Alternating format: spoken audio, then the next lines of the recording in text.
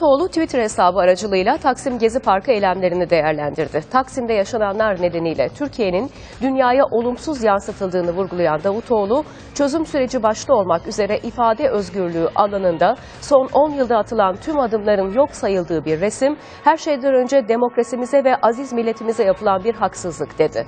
Türkiye'nin bu süreci de aşacak güçte ve olgunlukta olduğunu kaydeden Davutoğlu, hepimizin göz bebeği İstanbul'umuza ve diğer şehirlerimize zarar vermeye başlayan bu eylemlerin devam etmesi kimseye fayda getirmez. Sadece bölgemizde ve dünyada gıptayla bakılan ülkemizin itibarına zarar verir dedi.